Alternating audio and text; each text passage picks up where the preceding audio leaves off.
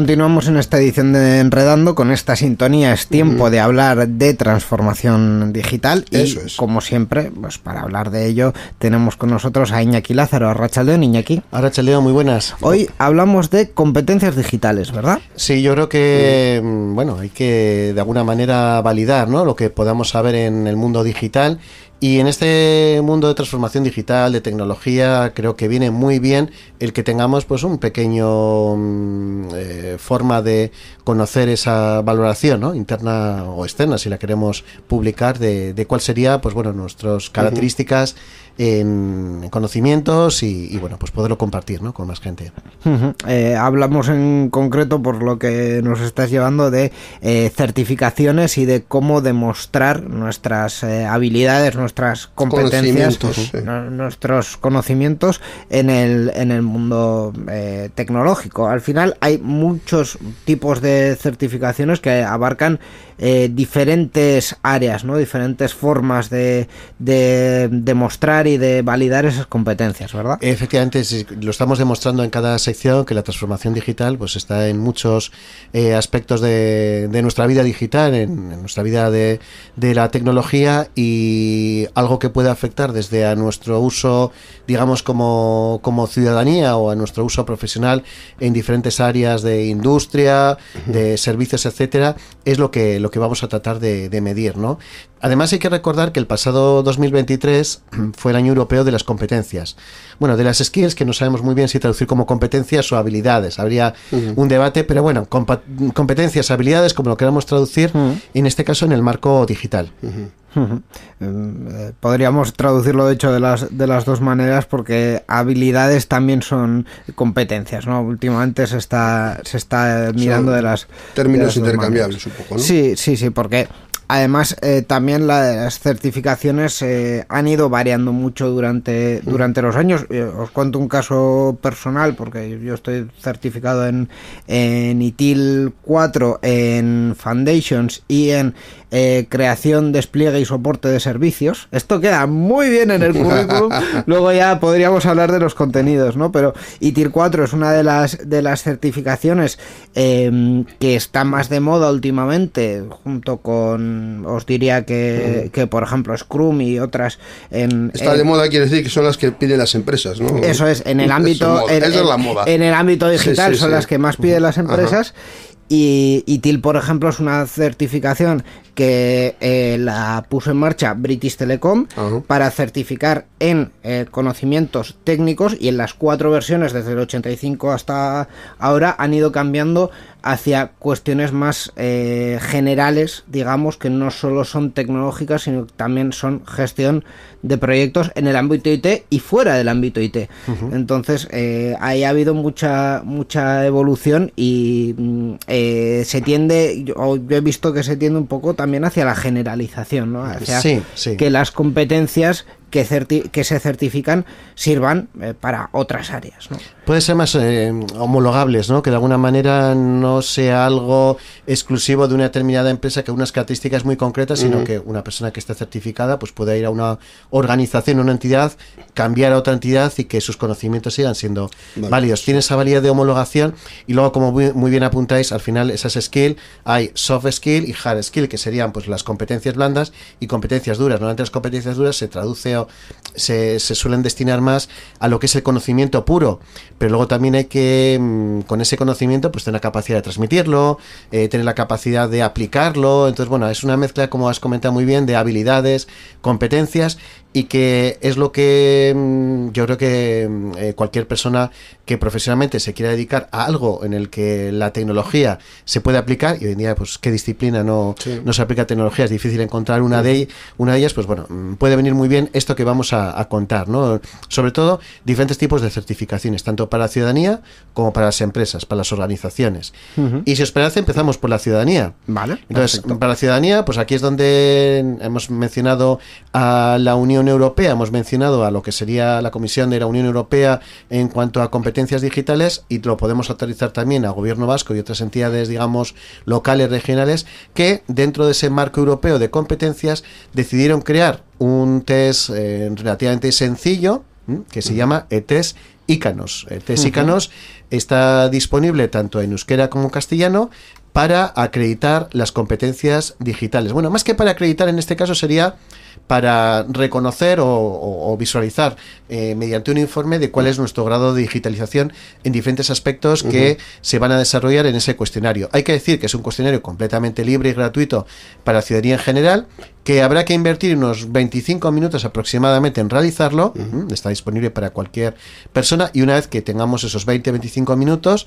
tendremos un informe PDF que nos dirá en los diferentes áreas o puntos digamos estratégicos cómo nos podemos ver eh, en cuanto a competencias digitales, ¿no? en cuanto a digamos nuestras habilidades digitales. Se centra en aspectos pues muy concretos o muy interesantes como pueden ser la ciberseguridad, se centra también en otros aspectos que pueden tener eh, cabida relacionados, por ejemplo, con eh, competencias a la hora de mm, reconocer información en Internet o publicar información en Internet, ¿no? En, secciones pasadas hablamos de WordPress, pues el hecho de saber manejarnos en WordPress, etcétera, ya es una competencia, ¿no? Competencia en información, competencia en comunicación, competencia en desarrollo de contenidos, competencia en seguridad, competencia para resolver problemas, eh, competencia también para desarrollos de equipamientos, creatividades, formación, bueno, un sinfín de posibilidades relacionadas en este caso con las competencias digitales. La verdad es que son cinco áreas que, yo creo que mm, están muy bien pensadas porque eh, mm, sobre todo lo más, lo más básico y lo más nuclear y lo que Mm, todo el mundo eh, debería tener eh, como habilidad en, su día a día es eh, la primera parte, ¿no? La de navegar, buscar, filtrar, evaluar la información que recibimos porque está siendo realmente complicado en el, en el mundo digital, en, Internet en concreto saber filtrar esa información ¿no? y, eh, ser capaz de eh, identificar fuentes fiables. Entonces, desde ese punto de vista, eh, creo realmente que, que, es un buen planteamiento ¿no? el de estas áreas. Eso es, eso sí. las áreas las hemos dicho, ¿no? Información, comunicación, creación de contenido, seguridad y solución de problemas, pero es que de esas áreas luego hay diferentes competencias que nos pueden servir en modo práctico, pues eso, lo que dices tú, muy niño, a detectar pues eh, las famosas fake news, a saber diferenciar pues un enlace eh, si puede ser fraudulento o no, pues eh, que nos llega a través de SMS, nos llega a través de, de, correo electrónico. Yo creo que es muy, muy Incluso importante. como está escrito, sí. Efectivamente. Entonces, yo creo que el tener ese tipo de habilidades está muy bien y cuando no las tenemos, claro, hay que buscar una solución y ahí es donde, pues, bueno, las entidades públicas también están eh, realizando una serie de, de trabajos, ¿no? En, en, cuanto a formar, ¿no? Pues están los centros Cacetagunea, que podemos encontrar a nivel, digamos, ciudadanía en general. Y para las empresas, que si os parece hablamos ahora un poco más en detalle, pues tenemos los Empresa Digital, eh, lo que sería, pues bueno, lo, iniciativas como las que desde la SPRI se está moviendo para que también haya una certificación y conocimiento por parte de las, de las empresas. Pues eh, también podemos hablar de, de, ello, porque de hecho Empresa Digital eh, a los seguidores ya muy veteranos de Euskadi Digital y de Enredando les sonará, porque hay mucho contenido de, sobre ello y hemos hablado de ello hace ya tiempo, pero eh, varias, muchas veces diría yo.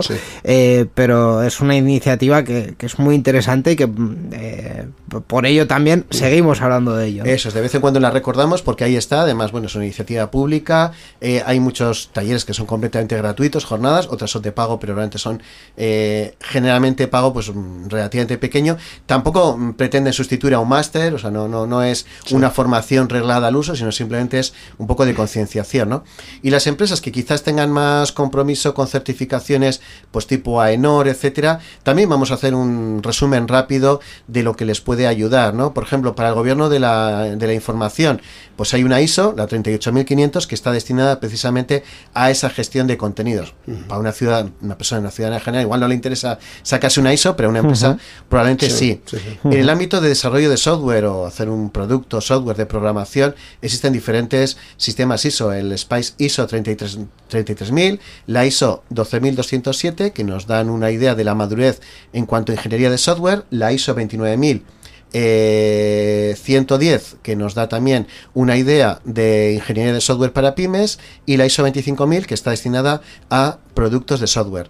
Hay otras opciones, servicios como la ciberseguridad, eh, ISO 27001, eh, ISO 20000, ISO 22301 para la continuidad del negocio, es decir, típica auditoría que hacen una empresa para saber que qué ocurriría si recibimos un ciberataque y tus servidores eh, caerían o ¿cómo te comportarías o cómo reaccionarías? ¿En cuánto tiempo podrías volver a estar en, Eso es, pues también existen certificaciones para ese ecosistema de ciberseguridad y privacidad.